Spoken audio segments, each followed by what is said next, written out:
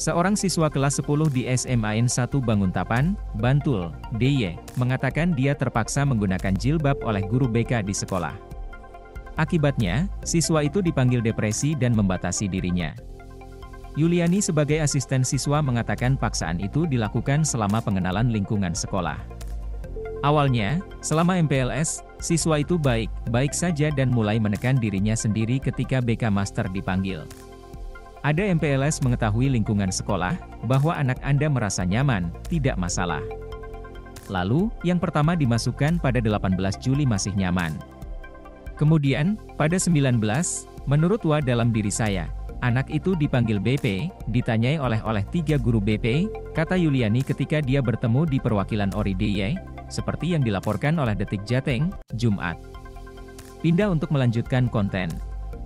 Suaranya adalah mengapa tidak menggunakan jilbab. Terus terang, dia tidak ingin melakukannya. Tetapi ayahnya telah membeli jilbab, tetapi dia tidak mau. Tidak apa-apa, hak asasi manusia, lanjutnya.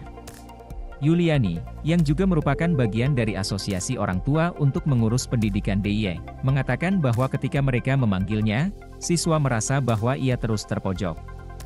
Selain itu, siswa digunakan oleh jilbab oleh guru BK.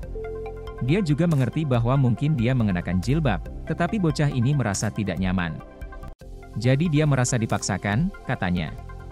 Ikuti jika Anda tidak mulai menggunakan jilbab, kapan Anda ingin menggunakan jilbab? Saya melihat. Guru datang kepada anak itu. Itulah nama paksaan. Itu adalah guru BP atau BK, katanya.